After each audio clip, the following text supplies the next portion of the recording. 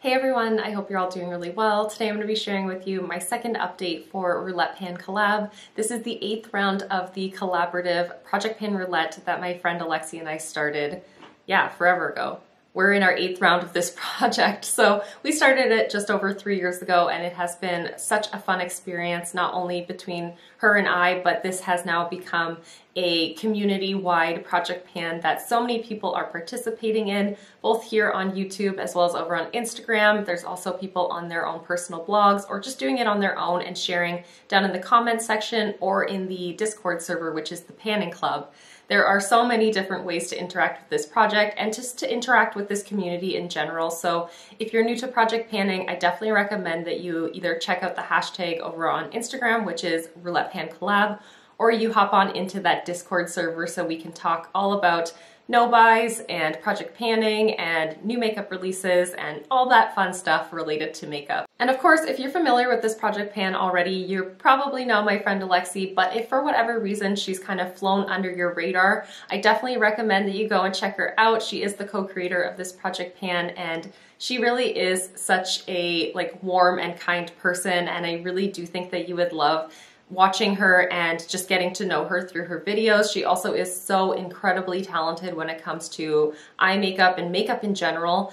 And it's always such a pleasure to catch up on her project pans in the, like, especially with this project, but just to see her face in my feed is such a treasure. So I definitely recommend that you go and check her out if you're not familiar already. And if you are familiar, after you watch this video, why don't you go check out her upload and then binge watch the rest of the playlist. But in any case, let's hop on into all of my progress for today's update. The first item that I selected or prompt that I selected was a product that is too pretty to use up. And so for that, I chose this Melt Stargazer highlighter. This is the digital dust highlighter and it's so stinking beautiful. And my goal is not to use it up in this project, but there is just this amazing embossing kind of pattern detail on top of it, which was just so eye-catching, especially because I love typography. And as much as this is a absolutely beautiful product, I did set myself a goal to wear down all of the like detail on it. And that reminds me actually that Eleanor Pans over on Instagram has started a project pan or will be starting a project pan in 2021 that is called Pan That Imprint. And it's kind of the same premise as what I did with this product actually. And that just sounds like such a fun project. I will have her link down in the description box too if you want to check her out and get to know a little bit more about that project because that sounds like such a fun idea. I just don't know if I can take on a lot more projects, but I think it's amazing. In any case, I am working towards my goal of using up the imprint of this product. There still is a little bit, I'm sorry, my exposure is up very high, but there is still a little bit around the edges here, so I'm sure you can tell there still is some of that font on there. And so I don't consider this to be a goal hit yet. I'm not sure that it will be by my next update, but I have been wearing it fairly frequently. Today I have it on just on the very top of my cheekbones as well as like down towards the tip of my nose. I know this is very polarizing. I Every time I wear highlighter on my nose, I get comments that are like, girl, it's a little bit much on the nose, but I kind of like it. But whatever, I'm getting very sidetracked through this entire video, but this is just such a beautiful, beautiful highlighter. I've been really enjoying integrating it into looks, especially considering it is that more fair kind of tone. Let me swatch it actually. It's a very like icy champagne shade, so it just looks so dang good at this time of year when I don't have quite a lot of tan to my skin. It actually is just so icy and reflective and I absolutely love the way that it looks. I'll continue to use it through the remainder of this project and hopefully reach that goal as much as it pains me. I think I can do it. I do think I can do it and I've been really enjoying reaching for this. And the next prompt was a favorite product, which could mean literally any product within your collection that you would consider a favorite. So for me, I chose my Essence Satin Touch blush in the shade Satin Love. This is such a beautiful, neutral, slightly brown, slightly rosy, slightly peachy kind of blush. I am so in love with it and it is my favorite blush in my collection, hands down. And I just swatched it here so you could see what I'm talking about. It is so um, nondescript in terms of its shade. It's very, very beautiful and yet I can't really exactly define what it is in terms of its tone, but I absolutely love this. I'm not wearing it today, weirdly enough. I typically am reaching for this on an almost every single day basis, but I didn't put it on today. I wasn't really feeling like wearing any sort of powders on the majority of my cheeks except for the highlight. But this is just such a stunning blush. My goal with this is to hit pan on it. I don't know if that's gonna happen in the next two months because my progress is very slow going with this, but I'm happy to be integrating it into my everyday routine whenever I do wear my makeup. More often than not, I'm reaching for this and absolutely loving it. It really does cement for me again that this is a favorite in my collection. My next prompt was a product that you forget is in your collection, and for that I chose this e.l.f. HD powder in the shade Soft Luminance. This is so old and I really do tend to forget that this is in my collection. Even now when I'm focusing on it, I seem to forget about it constantly. Like even today, I was reaching for all of my products and I counted out five and I'm like, what is the other product that's in this project? and I'm looking into my vanity that contains like my everyday products, which is all my focus products as well as my shop my stash products. And I'm looking in there and I'm like, what is the sixth product? And I couldn't quite figure it out. And then it like triggered in my mind that it's this. So I forget about this very, very frequently, even when it is a focus product. But I have been making some progress on it in any case. And I started up at this line here. Sorry, I should actually just get rid of this one, but this line right here I started at for the beginning of this project, and now I'm down to this line right here, the bottom line. And you know what? Not as great of progress as I may have hoped, but I just don't tend to set my entire face, and that's how I prefer this, simply because this does have quite a lot of shine to it. It is very, very glowy, as the name would suggest and I don't like the way that it looks on my under eyes. I need something that's a little bit more matte on my under eyes. I am wearing it today and I just, I don't love it because I didn't want to set the rest of my face, but I wanted to make sure that I used this after I realized I didn't even probably reach for it near enough throughout this project. But Regardless, my goal is to finish this up. Now that I'm in this like bottom portion of the product, I do believe that I should be able to finish it up, if not get super duper close. I just need to be more diligent and have a better memory about the fact that I'm focusing on this. But the amount of progress that I've made in the last two months is so significant considering I've had this in my collection for years and it was going very, very neglected. I'm so sorry, the lighting is all over the place today because it's very, very sunny, as you can probably tell, but then it's super overcast and cloudy and it's just been extremely inconsistent, so I just adjusted the exposure and I hope that it looks a little bit better than it did in my last clip. But Sorry, I don't know. I'm just in such a chatty mood today, I guess. So the next product is a product that you don't think suits you. And for that, I chose this um, ColourPop Lippie Stix. This is like a very, very light pinky beige, almost concealer lips sort of shade. And I don't think it suits me after two months of using it in this project consistently. And it's it is a really beautiful color. I've heard from so many people while I've been focusing on this that they love this shade. I just think it, on me personally, it just isn't my personal preference. And maybe if you're a bit fairer than myself, you might enjoy it more than I personally like it. I have been reaching it for it though throughout this project regardless and today I am wearing it mixed in combination with my Bare Minerals, this one right here actually. This is the Gen Nude Radiant Lipstick in the shade Notorious. So I put the She Bad on first on my lips. It's very matte and very, very pale. So I felt like it just was like way too stark and it really does emphasize the lines on my lips as well because I don't have the nicest and most smooth lips in the world. But I put on the Radiant lipstick from Bare Minerals on top of it to amp up the shine, give it a little bit more pigmentation, and it just, I love the combo. I love the way it looks. I love wearing this in combination with other like nude for me lip products and lip glosses. I just don't love it on its own. And all that to say that I'm still focusing on this and I actually haven't checked how much I've used in the last month. Let me just check that. Okay, I just checked and I have used up like one millimeter of product since my last update, so not doing so hot on this product in any way. My goal with this is to use up half of what was here when I first rolled it into this project, so not all of the product that remains in here, but a significant amount of product still needs to get used up. You'll see here on the screen my markings for this product. Unfortunately, I am falling a little bit behind with the amount of progress that I would have liked to have made by this time, but next month or during the next month, I definitely need to amp up my usage on this and make sure that I'm reaching for it more often. Also, I forgot to mention that I decided to wear this today as a cream blush, but I mixed it in combination with the Physicians Formula The Healthy Lip in the shade Bear With Me, which is in my 20 Favorites in 2020 Project Pan. I just applied both lipsticks to the back of my hand, kind of melded them together and just dotted them on top of my complexion after I put on my base products. And I love this cream cheek product combo, which is actually both lipsticks. I really love the way that it looks because I was finding that the Physicians Formula one looked a little bit too deep for what I'm liking these days, especially considering I've lost all my summer tan.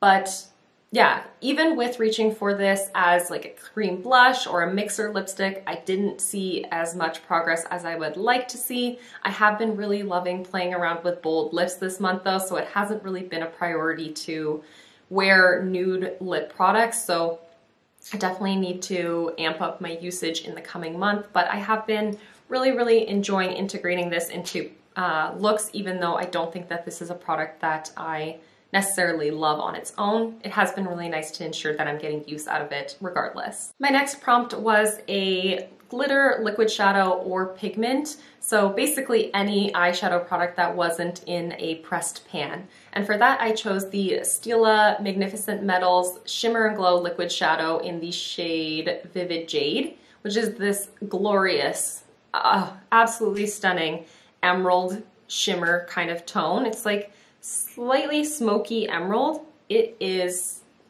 phenomenal. And my goal with this is to use it 20 times within this project. So 20 times over four months, I felt like that was not like terrible, but it definitely was gonna be a challenge for me.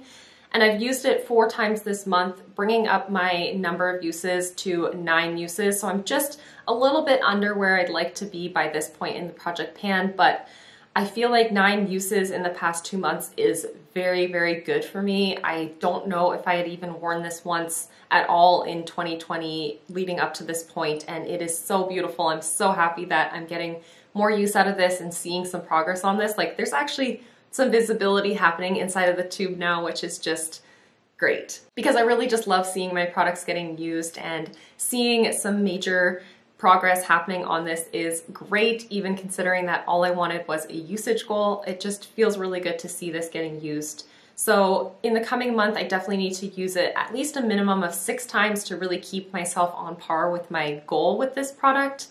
And going into the holiday season, I don't see that being necessarily a problem, although like family dinners and stuff are not really gonna be the same this year as they have been in years past. So who knows? But where I'm at with this right now, I'm feeling good. I'm feeling like that goal is definitely attainable. And yeah, I'm really happy to be reaching for that. I, I love this shadow so much. Like look at that, ugh, look at the metallic, look at that color. It's, it's great. I love it. And the final product that is in this project pan is this one right here. And I chose this for the category your most expensive base product. This is by far my most expensive base product. And I actually got it in the Charlotte Tilbury Summer Glow uh, mystery box, so I didn't pay necessarily full price for this on its own, but anyways, it is the most expensive, like retail priced base product that I have. And my goal with this was not going to be a certain amount of usage because it's relatively new. I think I got it in July in that box. So I wasn't like, I want to finish it up in this project. I didn't even want to mark on the packaging, so I didn't want to be like, I need to use up half of it but my goal was to use it 40 times and today I'm wearing it for the 41st time. Even though this has only been in this project for two months, I have been just making sure to use it basically every single day that I put on makeup and days where I didn't put on any other makeup. So I have mixed this in with moisturizers and with sunscreens just to kind of give myself a little bit of a glow, even on days when I didn't want to wear any other makeup, but I just wanted my skin to like reflect the light really nicely and just to feel like a little bit more pulled together, you know? And then on other days, I've been mixing this with hydrating primers and putting it on before I do other base products. I've also mixed this in with my tinted, tinted moisturizers and foundation products. So it has just been getting cocktailed with absolutely everything. And that's how I was able to use it so many times in only two months. When I was looking at the tallies before I sat down, I thought I was gonna be at like, you know, 20 uses this past month and just be just shy of what my goal was. But no, 23 uses in this past month 18 uses last month and we're now at 41 uses on that. So I will be rolling that out of this project, which brings me to the next segment of this video. I don't know why I'm such in such a weird mood, but we're gonna be rolling in one new product to fill the sixth spot in this project pan. So let's do that together. I have 86 categories left in my spreadsheet of 100 categories. I personally don't want to duplicate prompts. I want to have a chance to get through all of the categories in due time. So we are gonna be choosing from number one to 86 so that I can choose a new product to roll into this project. So I have the Pretty Random app pulled up right now and I've put in categories 1 to 86, so let's roll one of the categories now. And the category that I selected is 50, so my spreadsheet numbers don't align with the spreadsheet numbers for the one that's linked down in the description box just because I've been eliminating items as I go through prompts. So what is number 50 in my spreadsheet? I have my laptop here, so figured we'd just do this together. Oh, okay, the category is an item in a pastel shade. So, kind of out of season, but let me just go take a look through my collection and see what I want to pull for that prompt. I have a couple ideas in my head, but I will be right back to share with you what I do select. I'm back after much deliberation and the product that I selected for the category and item in a pastel shade is this right here. This is from Note. This is the BB Natural Corrector in the shade Lip Corrector 02, I guess. It, this product I purchased not last year, but the year prior when I went to IMATS with my friend Tosh, Too Much Tosh here on YouTube we went to IMATS in Toronto together and we both picked up some products from Note. This was the only one that I got and it's not really a brand that I hear about often, but anyways, it really reminded me of the Clarins Lip Perfectors in terms of its packaging and even its scent. It kind of has that like, kind of smells like mini eggs sort of fragrance and it has this doe foot applicator. Very, very similar packaging. On the exterior, it looks kind of peachy, but the product inside is actually a pastel light peachy kind of pink shade and I forget I have this in my collection very, very often, and I've actually been considering putting this into the Partners in Cream project pan next year, which I'm gonna participate in come January. But I figured why not get a head start on working on it right now and potentially even be able to use it up because I'm actually down at about this point right here. Actually, I should just mark it. I'm about halfway through the tube and I don't think that I'll be able to finish it up in the coming two months, but I'm not gonna set myself a goal for any sort of usage or any sort of progress. I just wanna get a head start and get a chance to use this, maybe even use it up, who knows, because I can wear this as a lip gloss, I can wear this as like more of like a lip balm when I'm not wearing any other makeup or I'm just you know, in the house. It's very, very sheer in its color and I just think it can work with many things, including even the lipstick in She Bad. This might look really nice on top of it and just give it a little more of a hint of color instead of being quite neutral. But yeah, I'm really excited to get some use out of this. I have been considering that it is something I want to pan in due time, so this is the perfect time.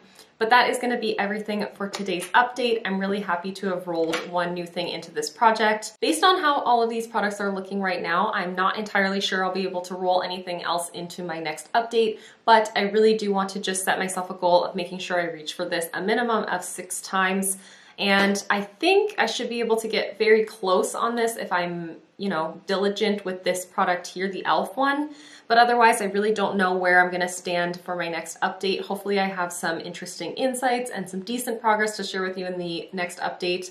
I think the rest of these products are gonna be living in this project until the finale, and I'm okay with that. I really am happy with all the products that I've chosen for this round, but that's absolutely everything for today's video. Thank you so, so much for watching and for hanging out with me. Definitely go check everyone else out and all of the information that is linked down in the description box. But yeah, thank you so much for watching, and I'll see you in the next one. Bye, everyone.